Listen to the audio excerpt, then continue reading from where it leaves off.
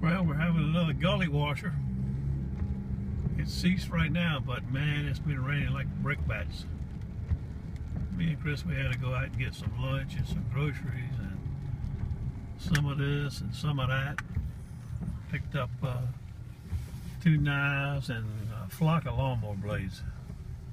I'm pulling into Rancho Max now. I'll get back to you when I get the lawnmower blades unwrapped and see what's in the package. Stand by. It's Monday. Rainy Monday.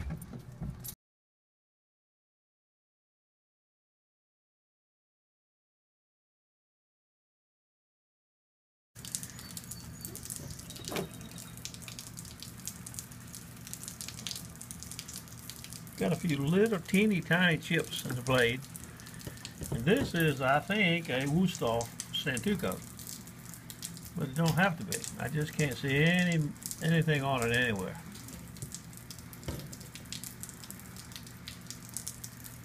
And then uh, you can see it's still raining if it's anything is picked up. And here are the lawnmower blades. Got two packages, three blades per pack. The guy must, he said he had a little small lawn service. He takes good care of his blades, I can tell you that. Compared to most I see. Look at them. They only hardly need any cleanup. Just sharpening. I like it. Stand by. As you can see, both of these knives are in need of polish. Especially this one. I don't know if it's dishwasher stain on the blade or what, but it's in bad shape. I'm going to give you a before and after. You see the little scratches along there? This little Shun has had a tough little life.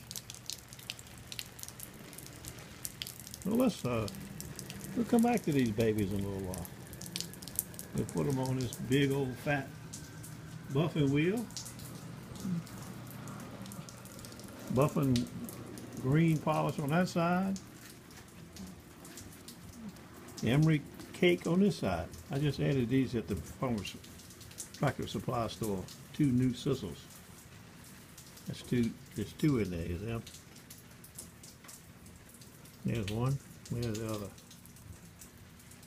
Makes it one inch wide.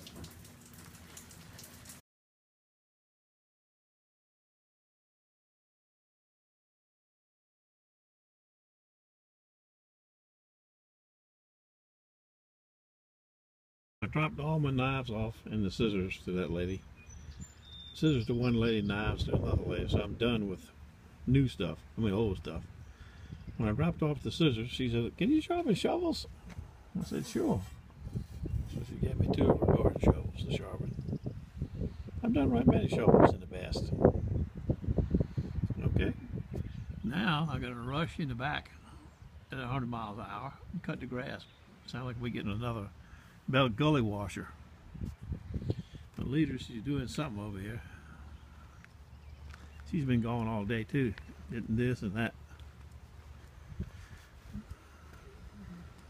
What are you doing over here? Huh? A daisy. A daisy.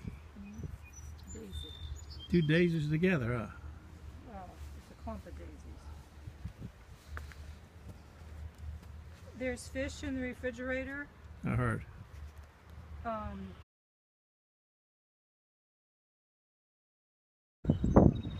Well, the sun is setting, and Chris is finished. That's our daisy. And those are what?